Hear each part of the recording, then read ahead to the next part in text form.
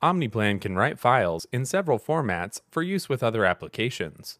Simply choose Export from the File menu. Choose an option from the Format menu.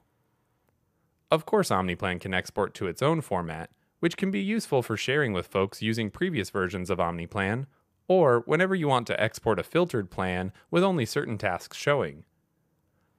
iCal files provide the option to export calendar events to be added to your calendar or to do items to be added to your list. If you're working with folks who use a Windows PC, you can export to one of the Microsoft project formats.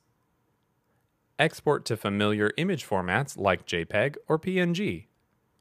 Or to OmniGraffle for a work breakdown structure or PERT charts. By far, the most impressive and useful export option is the HTML full report.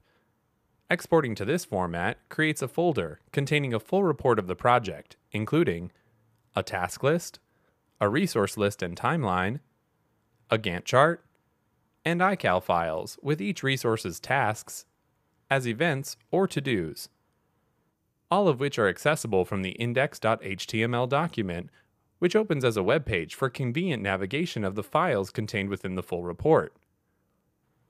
Exporting leaves your original plan document intact, while producing a separate file that's compatible with other software applications. Of course, not all aspects of the OmniPlan document can be represented in all file formats, but we do our best. If you have any questions about exporting, please let us know. We're happy to help.